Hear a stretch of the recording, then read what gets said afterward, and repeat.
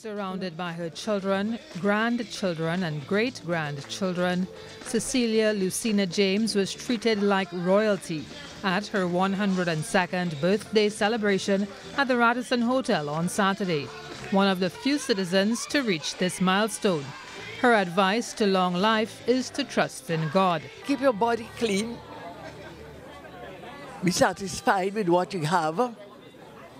And it is God's will that keep you alive.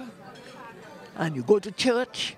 If you don't go to church, you have the housework to do, and you do it faithfully and willingly. Ms. James also has these words of encouragement for parents of today. Be satisfied with what you have, and be a, a good parent to give them good advice to tell them, don't go here, don't go there. And I don't want you to do this and you do that. And they will listen to you. Her daughter says her mother never did anything without prayer. She has instilled in us the fact that with prayer and with God, everything is possible. There is nothing we cannot do.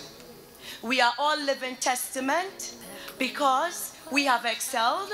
And I can tell you one thing we have never ended up in a police station.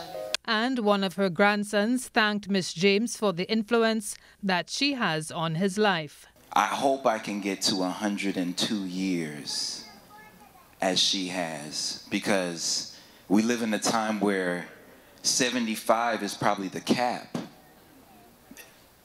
50 is probably the cap. But she's always praying. Miss James received a commemorative pin a certificate and other tokens from the Ministry of Social Development and Family Services as part of the ministry's National Centenarian Program. Karen Kozier Phillip, TTT News.